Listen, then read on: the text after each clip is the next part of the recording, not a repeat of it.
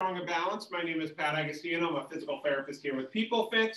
Uh, today we're going to be working on some strength and balance related exercises. Uh, we will be getting either down to the floor or uh, into bed to do a few of these exercises at the end. Uh, and with that, let's begin. We're going to start off with your feet about hips width apart. Your knees are soft. You're going to pull your head up off your shoulders, and we're going to start off with a nice warm up with some neck circles. Again, if you've never done this type of class before, we always ask you to consult your physical therapist or physician prior to beginning any new exercise routine and only work within your limits in the exercises that you know you can do. And let's go to the opposite side. Again, trying to get a little bit of distraction or traction on the neck by pulling your head up like a big helium balloon. Does not make you an airhead, It just makes you have good posture. Excellent, good. And let's do some arm circles in one direction. A lot of these balance exercises, you'll notice that there are parts of your body that are moving. There are other parts that are not moving. And that's the stability piece that we're trying to work on whenever we're trying to tense areas. And just the arms moving, nothing else is. And let's go backwards.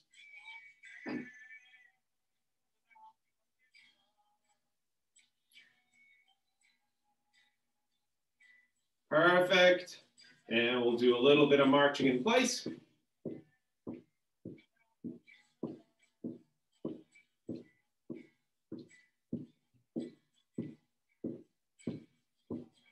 And let's bring the arms back and forth.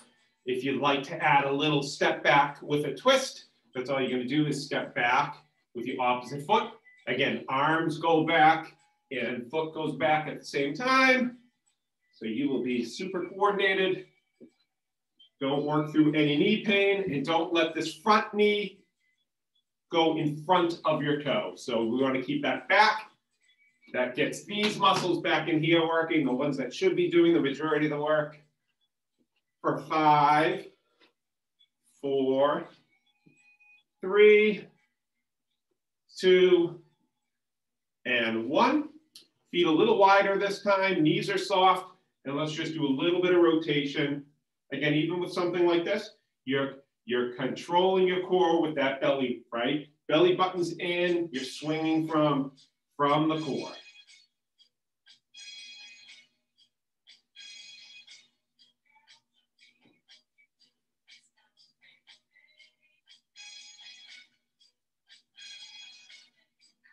Excellent.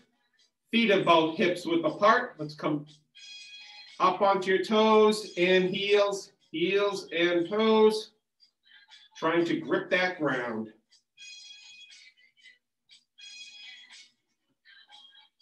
Can you do the Irish jig? Yes. Come on in. Good? I think Karen was just saying that she'll be in later to uh, to do the Irish jig. She is a Henley, so happy St. Patrick's Day to all of you. Good. Arm out to the side, hand on your hip. Let's slide your foot back. This knee is soft, and let's draw that leg out to the side. If you do it without bringing the foot back down to the ground, that is fantastic.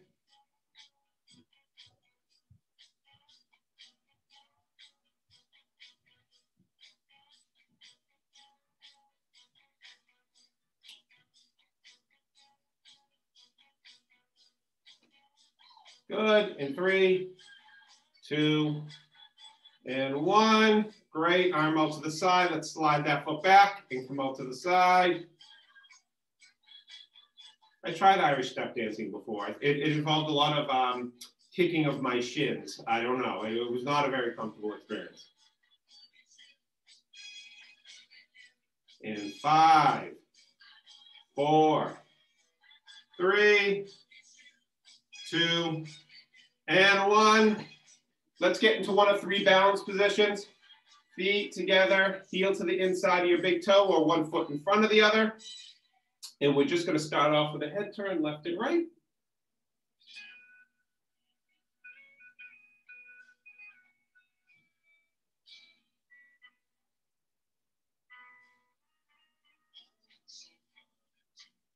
And three, two, one. And let's switch feet. If this is super easy for you, simply lift the front foot off of the floor. Simply. And turn your head left and right. Five more turns. Four, three, two, and one. Very nice job. We're gonna do some gentle body weighted squats now. Toes are slightly out. You're gonna clasp your hands together. We're gonna sit your hips back. If you wanna hold on to a wall or a countertop, that's absolutely fine. But we're gonna come on down and back up. Good. Down and back up, trying to keep your chest up. If you're looking up at your screen, it's probably a good way to start to get the mechanics right of this and get a little weight on your heels. Good. If it bothers your knees, don't come down as far or simply turn your toes maybe a little bit more out or in to see if you can get around that pain. Good. And five, it's on the way back up. You're really trying to squeeze the glutes together to come on up for five, four, three, two, and one. Fantastic. Arm out to the side, hand on your hip, and let's bring that opposite knee up and down. Good. If that's super easy, we're going to make small circles with the whole leg. Okay. It's not just the ankle that's moving. It's coming from the hip right here. You're just getting some movement. If you are circling, I ask you to reverse circle, please. In five, four, three, two, and one. Let's shift off to the other side. Remember, we're gonna keep that uh, left knee slightly bent and let's bring the right knee up and down. Good, or you can try a circle.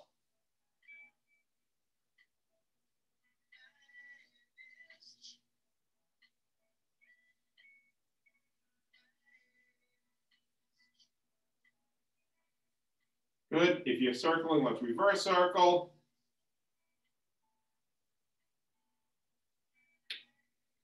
In five, four, three, two, and one. Good. Let's get those hip flexors and calves a little stretch. We're going to step onto your right foot, toe is slightly in, long step forward with the left. You want to do this up against a wall, perfectly fine. Belly buttons in, and let's, and let's bend that left knee.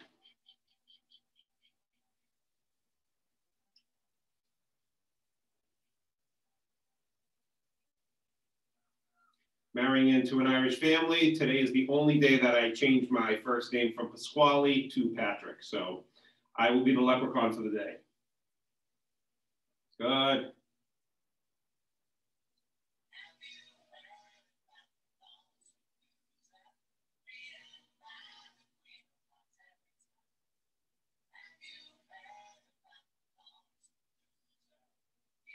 Great, let's switch to the other side. Belly button in, shoulders back. Let's bend that front knee.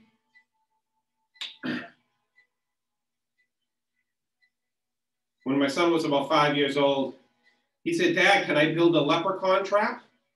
I said, a leprechaun trap? He says, yeah. He says, at school they said you can catch a leprechaun if you, you know, build a trap. I said, sure. He's gone for about an hour. I go into the backyard he's got my shovel out and he's dug a hole about this deep into my grass. I said, What are you doing? He says, Well, What? I'm, I'm just building my leprechaun trap. I'm like, Okay.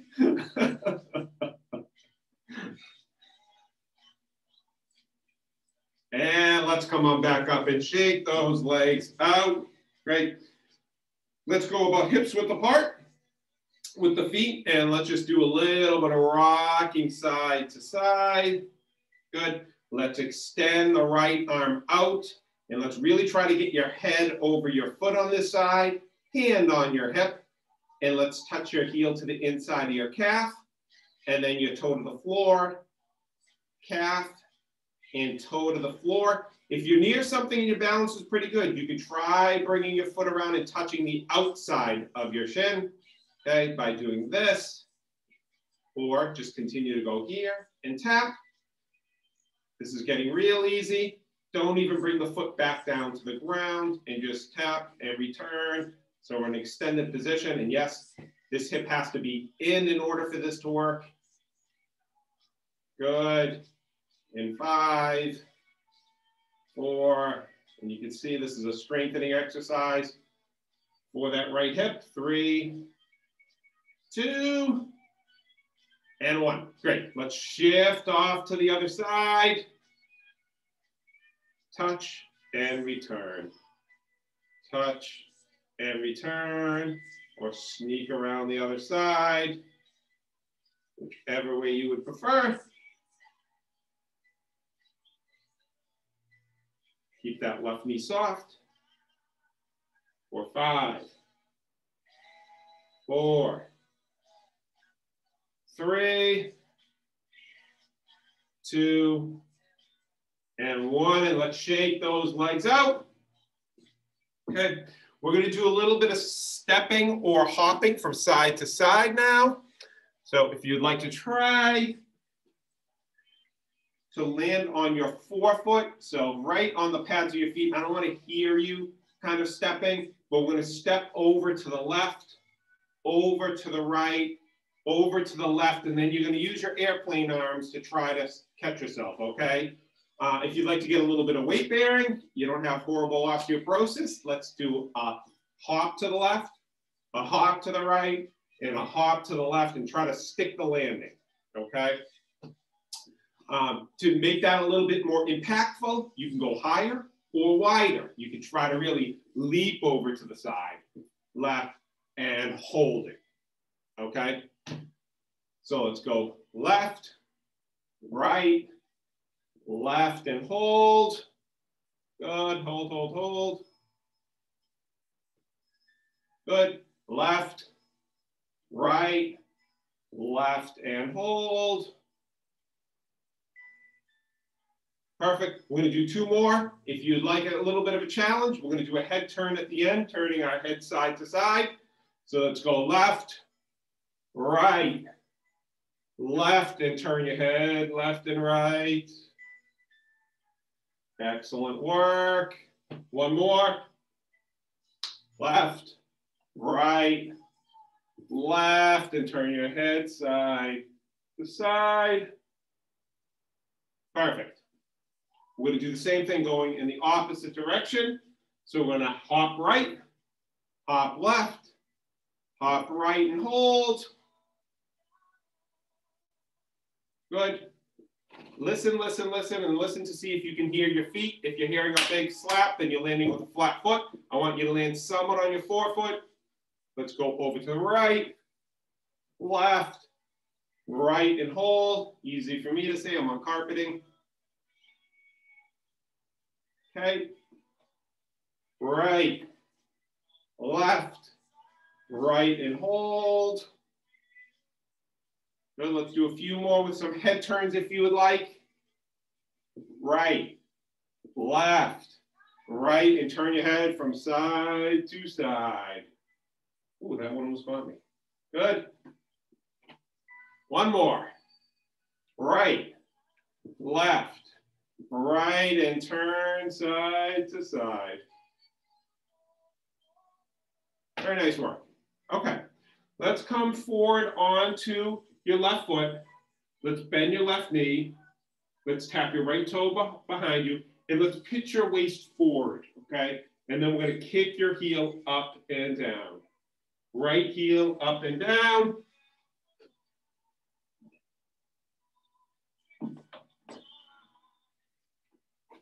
and five more,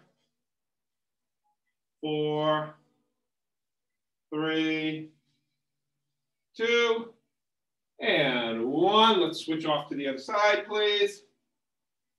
Coming on up and down.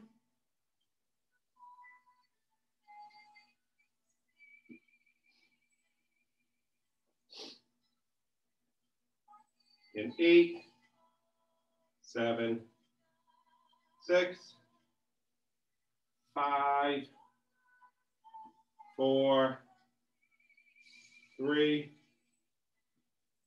two, and one. Let's come on back up. So let's get back into your balance position, whichever position worked out for you before. We're gonna take your uh, right thumb, we're gonna drop it down low. We're gonna bring your left thumb up high. Now, if it really bothers your shoulders to do that, bring it wherever you're comfortable.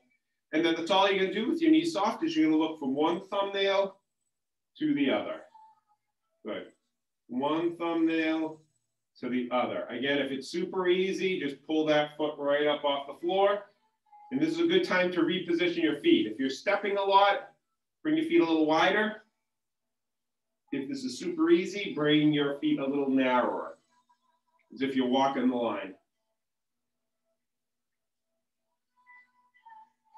The key to this exercise, keeping your knees soft and refocus your eyes on each of those thumbnails, right? Say, why are my fingernails green today? They were supposed to, I was supposed to wake up and they were supposed to be green. I think that's how it works. Good, in three, two, and one. Great, let's switch feet and switch hands. This time we're gonna take your left thumb down low, your right thumb up high, and you're gonna look from one thumbnail to the other.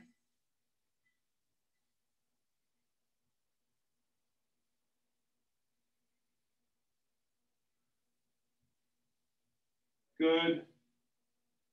Five, four, three, two, and one. Excellent work.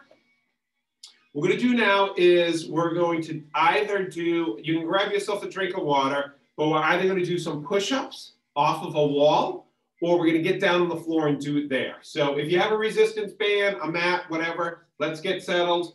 But if you're gonna be doing your push-ups on the wall, hands are a little bit lower than, than armpits and a hair wider, and you're just gonna do push-ups on the wall. If you could do them up on your toes, that would be great. Then we'll meet back here in 30 seconds.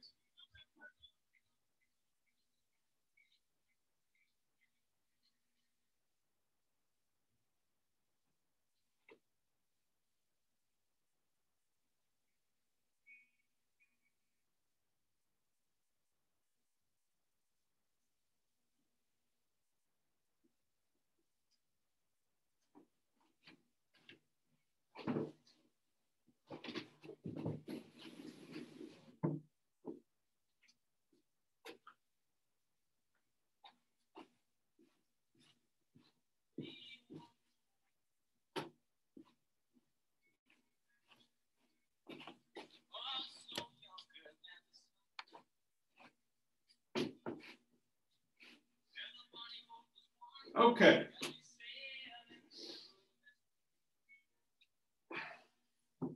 So if you're going to be doing your push-ups from the floor, you can do them from your knees or you can do them from your toes. Uh, if you did them on the wall, fantastic. Let's come right onto your back.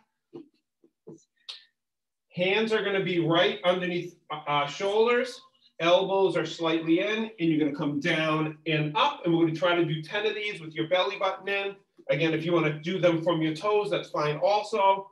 Good, just coming down and up, not working through any shoulder pain. For those of you with shoulder issues, you may have to skip this one. For eight, seven, six, five, four, three, two, and one. Let's come right onto your back. To warm up your lower back, I do like to do a little bit of a rotation. So I want your arms spread out to the side, your feet flat, your knees are bent, and your feet are together, your knees are together, And we're gonna simply do a little twist side to side. Again, what's gonna control your legs coming up and over is your abdominal. So I want you to pull them in and pull your legs over to the side. If you have back issues, you can go nice and easy with this one.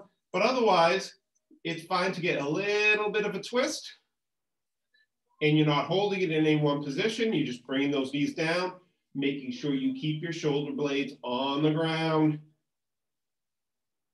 And it is normal for most people to feel a little stretch when you bring your knees over to the left, to feel it in your right lower back, as well as on the other side.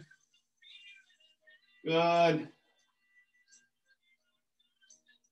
And four, three, two, and one. Fantastic. Let's bring the feet hips width apart. And we're either going to do a bridge coming up, or if you have lower back issues or osteoporosis, just a simple pelvic tilt, pushing your lower back into the floor and holding for five seconds. If you'd like to do a one-legged bridge, one leg's going to be up and you're going to lift. And for all these exercises, whichever one you choose, we're gonna hold for five seconds and come on down, come on up. So again, it's either two feet and down, one foot, or just the pelvic tilt. Good. Two more. Great. All right, we're gonna continue doing your exercise, but if you are doing a one-legged exercise, we're gonna switch feet, coming down and coming up. Good, up again.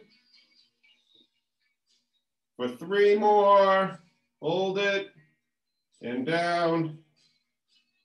Two more, and down. One more. And down. Good. Let's put both bend both of your knees.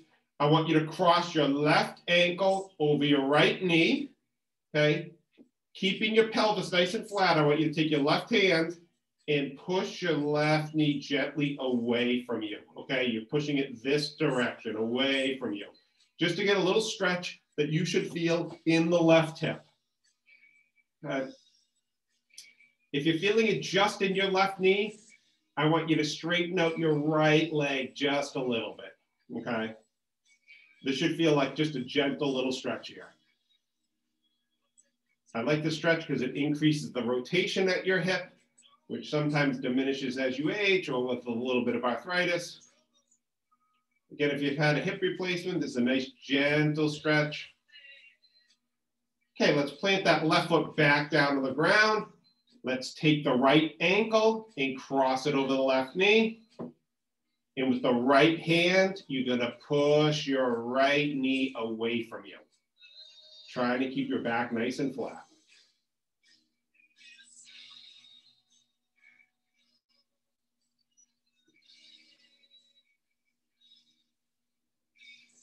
Ten more seconds here.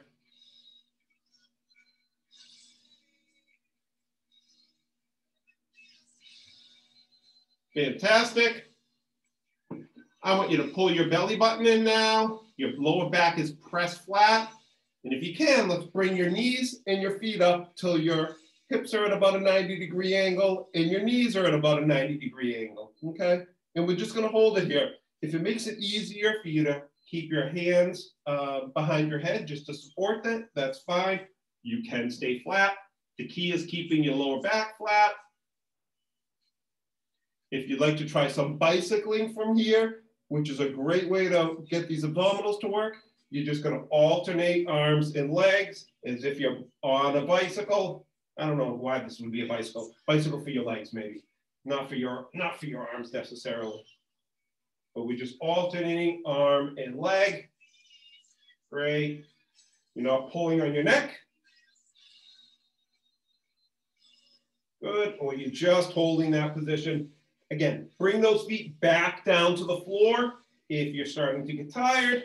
Otherwise, we're gonna go for five, five more seconds, four, three, two, and one. Very nice job. Let's straighten out your right leg and gently let's bring the left knee up towards your chest. You can grab behind the knee or on top. This should not cause back pain, but you should get a little bit of a stretch either in the glutes back here or in your lower back. I'm gonna hold it there. I like to try to get the right knee flat when I'm doing this. So you, so you can make sure that this hip flexor is getting stretched out. And let's switch the other side, please. You can either go behind the knee if your knees bother you, or to get a little bit more of an aggressive stretch, you can grab on top of the knee and pull that knee towards the chest.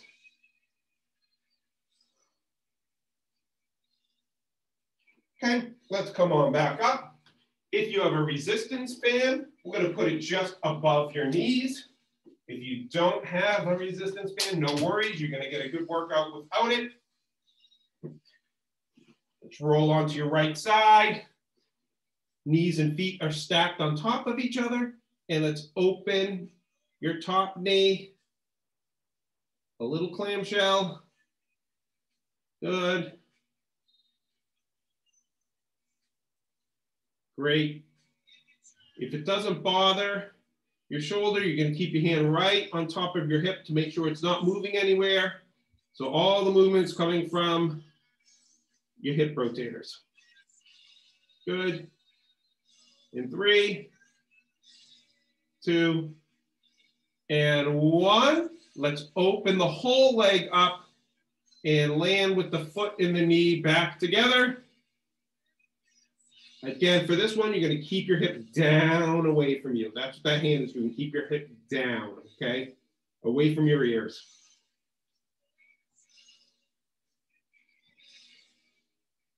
Good. three, two, and one. Let's straighten out both of your legs. Let's bend your bottom foot back for stability. Roll your hips slightly forward and extend your top leg back. And let's raise that leg up and down. Okay. Good. You don't have to bring the foot back down to the ground and your foot should be pointed straight ahead for eight, seven, six, five, four, three, two, and one. Excellent. And let's switch to the other side, please. We're going to start with the clamshells. Open and closing. Good. Eight, seven, six, five, four, three, two, and one. Now we're gonna do our fire hydrants, lifting the whole leg up and down, keeping the knee bent. And you're gonna land right back, foot to foot and knee to knee. Eight, seven, six, five, four, three, two, and one. Great. Legs are straight. Let's bend the bottom foot back. Roll the top hip forward and extend that leg back just a little bit. And let's raise it up and down, keeping your knee straight. For eight, seven, six, five, four, three, two, and one. Let's come on to your back.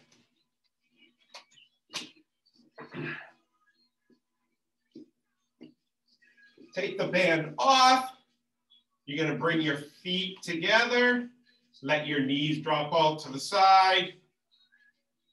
I wanna make sure your chin is not up. Gently pull the chin in. You may even feel a little stretch in the back of your neck. As long as it's gentle, that's fine. Palms of your hands down on your inner thighs, just to give these adductors a little stretch. And if you can stay down on the floor to do any exercises that you or stretches you typically do. I guess Karen has not returned, but if you see her in the facility, please ask her um, to do some Irish step for you. She's quite good at it. Uh, and I wish you all a happy St. Patty's Day. Take care.